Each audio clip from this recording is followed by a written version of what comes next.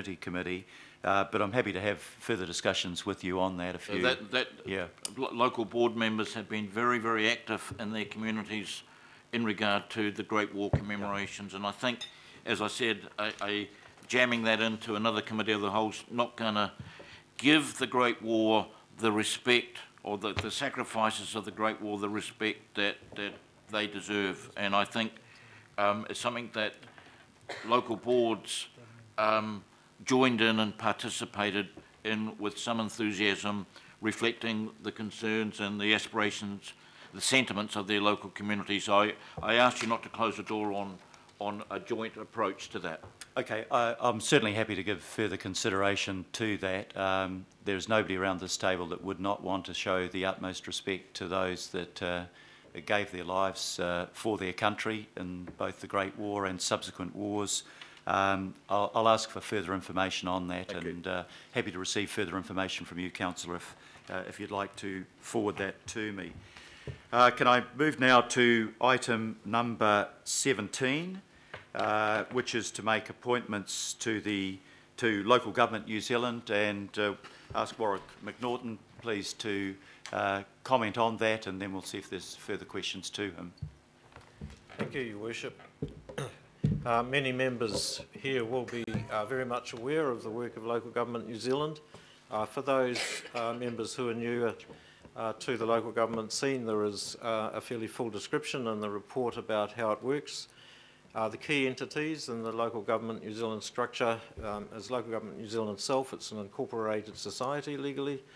It has, as its kind of executive committee, is the National Council, and uh, within the to to totality of the structure there are geographical zones, uh, there are sectors.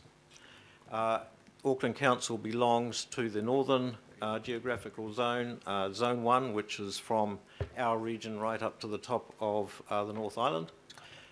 We're also members of the metropolitan sector and of the regional sector. Uh, so the purpose of this report uh, is to provide opportunity for the governing body uh, to appoint its representatives to attend those particular meetings. Uh, the zones and the sectors uh, uh, in turn appoint the members of the National Council. There was some discussion prior to the elections with the chair of Zone 1 and interested local board members about how best uh, local board members may be able to contribute. Uh, as a result of those discussions, the proposal here is to suggest that uh, we invite local boards to actually nominate a, def- a defined group of uh, local board members who will commit to and participate in local board meetings and which uh, having that defined group will make it a lot easier to brief members prior to meetings and so on. Uh, so if uh, we can uh, make our appointments of councillors at this meeting, uh, then the appointments, the identification of local board members will occur through the chairs, local board chairs forum. Thank you very much, Warwick. Are there any questions? Uh, uh, Councillor Simpson. Um, Mr Norton, I've got a question around this annual subscription. I noticed that it is um, set in, in the agenda, it's 370,000 uh, GST inclusive plus the levy. Is that more or less than what we had last year? Won't be less. Is there an increase or is it the same? I think it's the same, through, the, uh, through you, Mr Chair. I think it is the same and the levy came on top of it, but I will need to reconfirm that. I think, I think it's important to know what we're spending our money on, Mr Mayor. Yeah, yep, abs- absolutely. Um, so maybe we can we can check out um, how that has moved, and for a newcomer, um, and I'm that just to know exactly what we get back from that and what it goes towards would be very useful from my point of view as well. So I, I think it's important that we're part of local government New Zealand, not- and we are an active contributor. But we we do have the right, if I'm preempting what you're about to say, uh, to make sure that. Uh, uh, the money that we are contributing is being spent to good effect. And Would you like to comment further on that? No, I was just going to say whether if we're spending more than we did last year, we should, it should say, the report should say. Yeah. Uh, so maybe if you can come back to, um, to councillors on that. Are there any other questions? Okay, what we've done, Your Worship, if I may, um, I and 17 anyway. could I um, suggest you will see on the screen that we have added a recommendation E. um, I, I noticed you. that to meet councillor Filipaina's uh, uh, wishes. That's right. So So just wanted to. That's what you call this out. prompt response, councillor. Uh, Well, prompt recognition. was- Um, no, that's good. I'm sorry that that was an oversight uh, previously. So what we have, if we could maybe take the uh, the resolution as a whole, uh, in Part A, it's appointing councillors Hulse and Wayne Walker uh, on the to the Zone One uh, division, uh, appointing myself to the Metro sector, and appointing Deputy Mayor Bill Cashmore uh, at the regional sector group. Uh, D, confirming delegations to make other decisions that we might need to make um, very quickly without being able to come back to the council uh, in regard to uh, appointments at the National Council level and appointing Councillor Filipaina on the, uh, to attend and represent us at meetings of uh, Te Maruata uh, National Subcommittee meetings. So if there are no objections, I'll put those recommendations as, as, a, uh, as one. Um, have I got a seconder for that? Councillor Casey. All those in favour, please say aye. Aye. To the contrary, no. And it's carried. Uh, item number 18 is appointments to other entities. And uh, once again, Warwick, if we can ask you to, uh, to speak to this report. Uh, Your Worship, uh, these entities organisations uh, which have provision for the governing body to appoint members to. Uh, normally, uh, most such bodies who have council appointees on them are deemed to be council organisations and through the course of the term would otherwise uh, have those appointments made by the Appointments and Performance Review Committee. But, so this particular report is occasioned because uh, there are meetings coming up and we need to make decisions fairly urgently about uh, who's going to be appointed. So really, that's just a rider for me to uh, make a disclaimer that um, I've combined a number of positions into the one report, but I'm not really the expert on, on these particular entities. Great, thank you. Are there any questions? If not, we should probably, because we haven't, uh, I, Oh, no, sorry. sorry, Councillor Oh, no, All good. All All good? good, thanks. Just one point to note, Your Worship, and that is because we already dealt with the Hauraki Gulf Forum under the terms of reference, Yes. we've taken it out of these That's, that's good, thank you. So uh, the first, uh, again, if I move them together, but just to, to highlight um, the appointments, these have been made in consultation with the members concerned. So the Aircraft Noise Community Consultative Group, uh, Councillor Filipaina with Councillor Denise Lee as the alternate, uh, Councillor Simpson to the Auckland Town Hall Organ Trust, uh, which, as she mentioned in her maiden address, she has a particular interest in. Um, there was a suggestion you thought there needed to be a second person for that. Um, I'll talk to you about that. okay, so we'll leave it for now. to be a councillor. Yep. Mm. Um, Councillor Newman, maybe this is what I was thinking of uh, before, Councillor. That uh, to the Auckland Botanic Gardens, Councillor Sayers to the Kaipara Harbour Joint Political Committee, Councillors Cooper and Sayers to the Kaipara Moana Working Party, and to delegate authority to Rodney Local Board to make an appointment. Uh, Councillor Denise Lee to the Mutukaroa, the Hamlin's Hill Management Trust, uh, and delegations to Maungakiekie, Tamaki, uh, local board to make the other nomination. Uh, Councillors Cooper and Simpson to the Ngāti Whātua Ōrākei uh, Reserves Board for a term of three years and to appoint Councillor Simpson as Deputy Chairperson and to confirm delegations to local boards uh, as set out in Attachment A. Uh, I will move accordingly. Do I have a seconder for that? Uh, Councillor Watson. Lots of uh, enthusiastic uh, people on this one. Uh, all those in favour, please say aye. Aye. To the contrary, no. And that is carried. Right, um, appointments. There's Oh, one, sorry, Councillor, you. yeah, there was one small committee that's missing on the, this list, which I gave to Warwick, which is the um, Joint Working Party at the Par Estate, so that needs to be addressed at some stage. I'm the representative at the moment. I'm happy to continue for the on.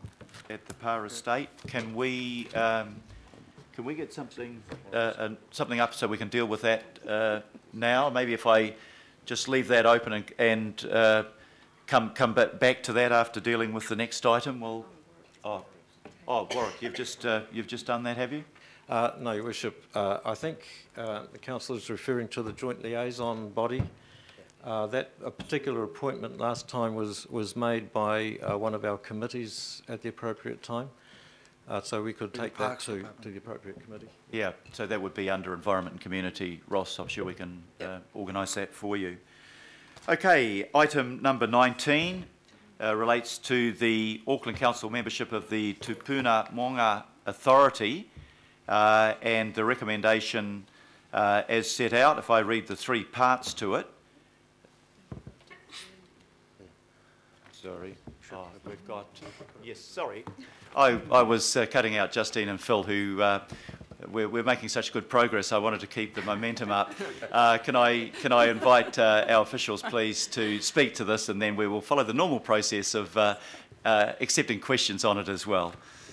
Tēnā koe, Your Worship. Um, I will be very brief in that case. So this report concerns appointments to be made by Auckland Council to the Tupuna Maunga Authority. The Maunga Authority is a co-governance entity that was established in 2014 through a collective treaty settlement with 13 uh, iwi hapu of Tamaki Makaurau. It's responsible for governing uh, the tupuna maunga or volcanic cones that are listed in the table in your papers. I think it's pages 82, 83. So it's responsible for uh, administering some of our more visible and visited landscapes in Auckland, such as Maungakiekie, One Tree Hill, and Maungawhau, uh, Mount Eden. In terms of membership, uh, six members are appointed by Mana Whenua, and they in turn appoint the chair. Six members are appointed by Auckland Council, and they appoint the deputy chair.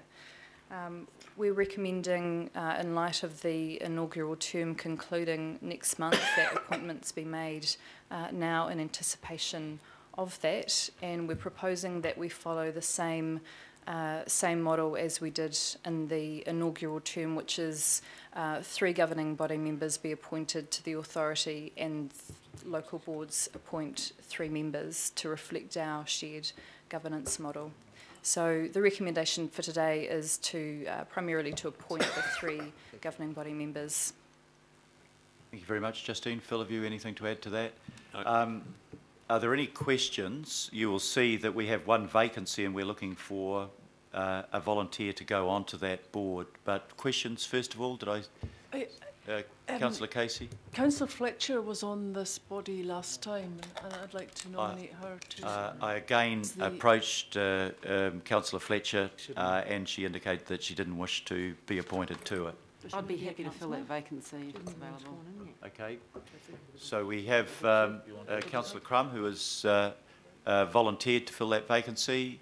Um, councillor Stewart, oh, sorry. I'd like to do it too. Oh, sorry, I'm sorry, I'm, I'm reverting, uh, councillor Denise Lee, my apologies. Um, It takes a while.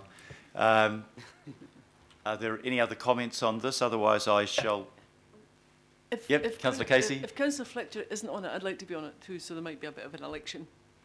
okay, we can, uh, we, I'm I'm sure we can do that. Um, I should check to see whether there are other, uh, any other councillor who would wish to be appointed to that body?